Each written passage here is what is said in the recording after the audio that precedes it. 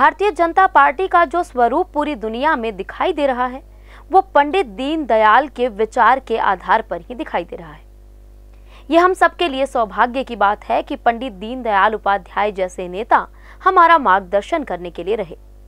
ये बात भाजपा के पूर्व प्रदेशाध्यक्ष सुभाष बराला ने पत्रकारों से मुखातिब होते हुए कही है। उन्होंने कहा कि खेल के क्षेत्र में प्रोत्साहित करने के लिए हमारी सरकार पारदर्शी पॉलिसी लाई है। इससे पूर्व में खिलाड़ियों के साथ सरकारों के भेदभाव हुए हैं। वह इस सरकार ने खत्म करने का काम किया है। जिन खिलाड़ियों ने बेहतर किया है, उन्हें उसी क्षेत्र में काम पर रखने और आने वाले दिनों में खेल का भी लाभ हो सके, इसके लिए हमारी सरकार ने ऐसी पॉलिसी बनाई है। उन्होंने कहा कि गत दिवस के मंत्रिमंडल में सर्कल कबड्डी जैसे खिलाड़ियों को भी प्रोत्साहन दिया गया। ओलंपिक की तैयारी करने वालों को पाँच लाख के एडवांस देने की घोषणा की गई है। जो ये पॉलिसी हमारी सरकार लेकर आई है, वह खेल और खिलाड़ियों के हित में है। केंद्र सरकार के बजट में आधारभूत ढांचा और गरीबों को मज़बूत करने की योजनाएँ भी सामने आई हैं। आम आदमी के लिए रोज़गार के अवसर किस तरह से उपलब्ध हों और सीधा पैसा किस तरह से कमाया जाए, हरियाणा प्रदेश का बजट इस प्रकार का होने वाला है। बजट की तैयारियों को लेकर मुख्यमंत्री ने जहाँ जहाँ से फीडबैक हो सकता था, फीडबैक ले लिया है। इस बार का बजट हमारी केंद्र सरकार को भी प्रस्तुत करना पड़ा है।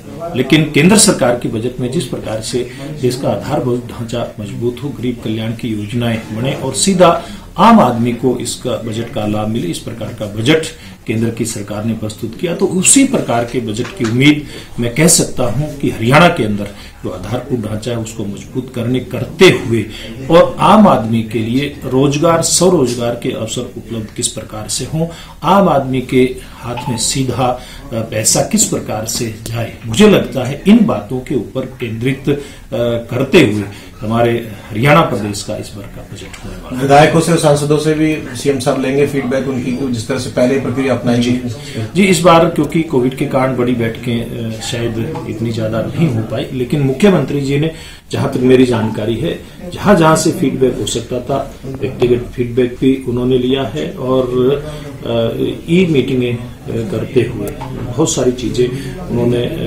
अलग अलग क्षेत्रों में काम करने वाले लोगों से उन्होंने जानकारी के माध्यम से इकट्ठी की सर एक आखिरी सवाल अब खेल कोटे में जो सीधे भर्ती होते थे हालाँकि उसमें कुछ नए पद रखे गए हैं ग्रुप बी के लिए सौ पद हैं ग्रुप ए के लिए भी और साढ़े पाँच सौ नए पदों की नियुक्ति है। लेकिन ये एक बड़ा एससीएस होता था और एचपीएस ऐसे ही लेटेस्ट खबरें पाने के लिए बेल आइकन को क्लिक कर हमारे चैनल को लाइक शेयर एंड सब्सक्राइब करें। धन्यवाद। JBD Banquets lie हैं incredible marriage palace Rajgharana and the finest banquet hall Jyoti Garden. World-class catering, centrally air-conditioned, lush green lawns, state-of-the-art lighting. A perfect venue for wedding, launching and parties. Rajgharana and Jyoti Garden at JBD Banquets Enterprise.